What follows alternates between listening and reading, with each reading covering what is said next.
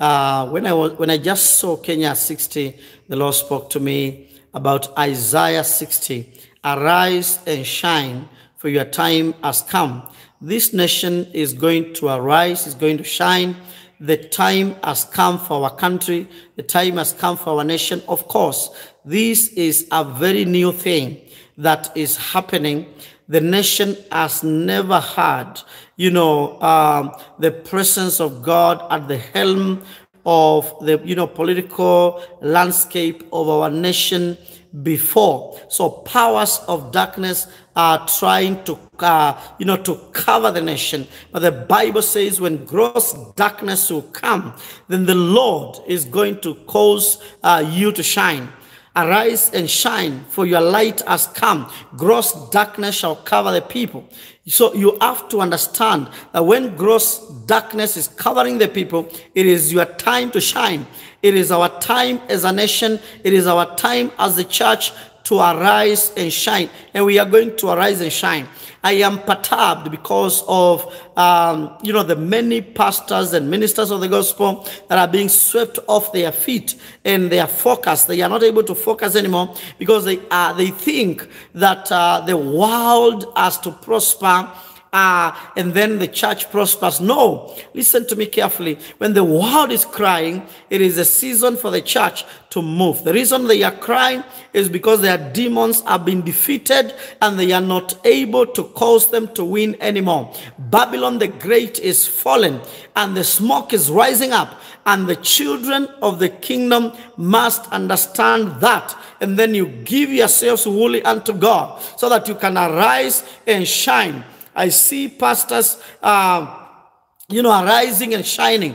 I see people that seem to be somewhere down there arising and shining. I know that many people think that uh, Babylon has to continue to reign, but Babylon the Great is broken, is brought down, its smoke is ascending up, you know, all the way to heaven and God has judged it in a minute. The system that used to be there, the things that have been, you know, forcing demonic people to be the ones that have power, that have energy, that are able to make business work, that are able to make money, that Babylon is broken Kenya, it is your season. Arise and shine, for your light has come. Listen to me carefully. God is so much in this nation. Don't listen so much about the negative voices that are speaking.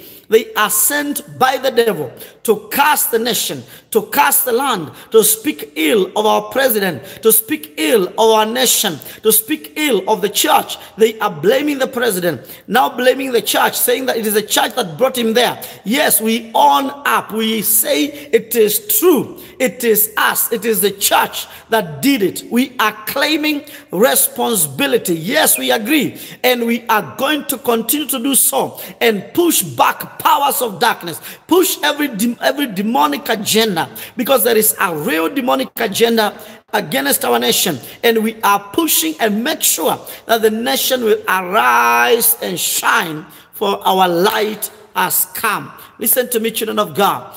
God is not a respecter of persons. This nation is coming out of obscurity. We are coming out and God is going to show himself mighty on our behalf. Isaiah 60 is our scripture is a nation. As we turn 60, this nation celebrating 60 years, it is our time to arise and shine.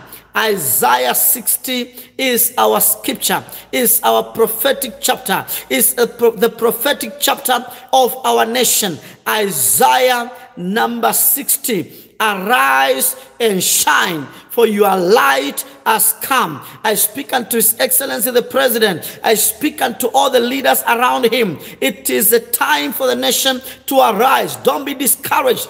God is with us as a nation. God is with you as the leaders of this nation. We pray for you, and God is going to give you that which it takes to take the nation forward and to bring the nation to liberty and to the place of victory in the name of of Jesus Christ. God bless you. God bless the nation of Kenya. God favor you, Kenya, at 60. May the Lord favor you. Father God, I pray for the nation of Kenya. I command you, Kenya, arise and shine, for your light has come. Father, I pray that this nation is not going to go back into oblivion, into obscurity, into darkness. In the mighty name of Jesus Christ, I speak the lifting up this nation. When men say there is a casting down, then we shall say there is a lifting up. We declare a lifting up of our nation, a lifting up of His Excellency the President, a lifting up of every leader together with him in the mighty name of Jesus Christ. Father, we declare, let Kenya arise and his enemies be scattered. Let the nation of Kenya arise. Let there be light in the nation of Kenya. We bless you, Kenya. In Jesus' mighty name, we pray and believe. Kenya, you are blessed. At 60, arise and shine, for your light has come.